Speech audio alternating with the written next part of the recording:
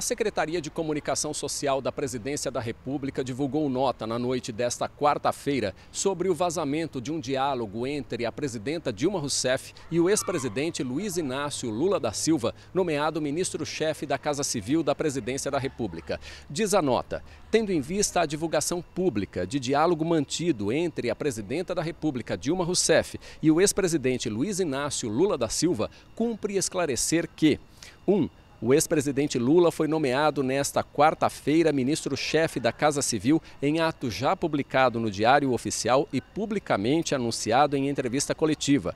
2. A cerimônia de posse do novo ministro está marcada para esta quinta-feira, às 10 horas, no Palácio do Planalto, em ato conjunto, quando vão tomar posse os novos ministros Eugênio Aragão, da Justiça, Mauro Lopes, da Secretaria de Aviação Civil e Jacques Wagner, ministro-chefe do Gabinete Pessoal da Presidência da República.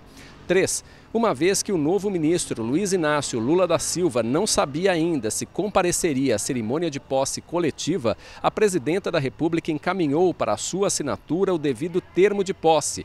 Este só seria utilizado caso confirmada a ausência do ministro. 4. Assim, em que pese o teor republicano da conversa, repudia com veemência sua divulgação que afronta direitos e garantias da presidência da República.